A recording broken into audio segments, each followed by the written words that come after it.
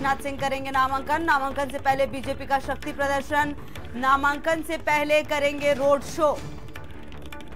सुबह 10 बजे राजनाथ बीजेपी कार्यालय पहुँचेंगे। भारी भरकम जुलूस के साथ कलेक्ट्रेट जाएँगे।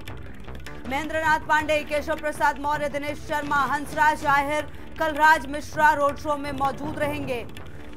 तो आज गृह मंत्री राजनाथ सिंह का रोड शो है। आज राजनाथ सिंह नामांकन करने वाले हैं।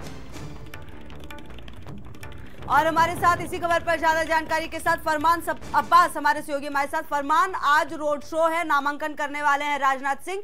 क्या कुछ जानकारी है? कितने बजे शुरुआत होगी इन सब कार्यक्रमों की?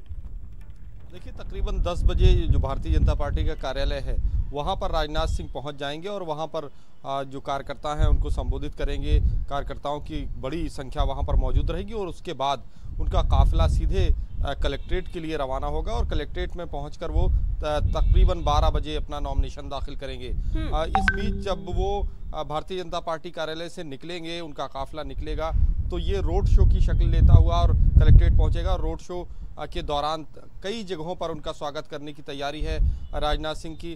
तो इससे, इसके अलावा जब नॉमिनेशन दाखिल करेंगे राजनाथ सिंह या जो रोड शो होगा, उस वक्त उत्तर प्रदेश के तमाम बड़े नेता दिग्गज नेता भारतीय जनता पार्टी के उनके साथ मौजूद रहेंगे और नॉमिनेशन के वक्त भी मौजूद रहेंगे। ये कहा जा सकता है कि एक राजधानी लखनऊ की एक बहुत प्रतिष्ठित सीट है जो लोकसभा सीट लखनऊ है। तो ऐसे में यहाँ पर शक्ति प्रदर्शन करके भारतीय जनता पार्टी एक संदेश देने की कोशिश करेगी कि चूँकि अगर हम इस सीट की बात करें तो बिल्कुल तय है कि भारतीय जनता पार्टी का गढ़ माना जाता है इस सीट को और यही वजह है कि जो चाहे गठबंधन की बात करें या फिर कांग्रेस की बात करें अभी तक कोई उम्मीदवार यहाँ से डिसाइड नहीं कर पाया है, ना तो गठबंधन और ना कांग्रेस।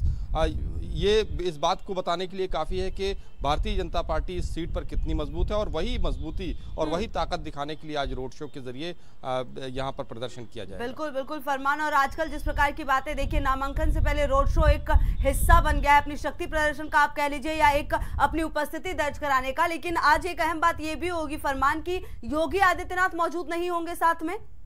देखिए बिल्कुल जिस तरह से चुनाव आयोग ने सख्ती हम्म। दिखाई है और योगी आदित्यनाथ को आज सुबह छः बजे से बैन किया है जो उनकी समय सीमा है ऐसे में उनको ये कहा गया है कि ना तो वो मीडिया से बात करेंगे ना किसी तरह का कोई इंटरव्यू देंगे ना किसी तरह की कोई चुनावी जनसभा को संबोधित करेंगे। तो हम्म। ऐसे में बिल्कुल ये एक झटका ज़रूर कहा जा सकता है चूँकि भारतीय जनता पार्टी के स्टार प्रचारक हैं योगी आदित्यनाथ जो मुख्यमंत्री हैं उत्तर प्रदेश के। तो ऐसे में राजनाथ सिंह के नॉमिनेशन के वक्त उनका उद्बोधन न हो तो ये बीजेपी के लिए एक थोड़ा सा ये कहा जा सकता है कि एक झटका माना जा सकता है। जी धन्यवाद फरमान इन तमाम जानकारियों के लिए। दिन भर हमारी नज़र निश्चित तौर पर रहेगी क्योंकि महत्वपूर्ण है ये जानना कि क्या कुछ होता है। बहुत बहुत धन्यवाद आपका इन तमाम जानकारियों के लिए। और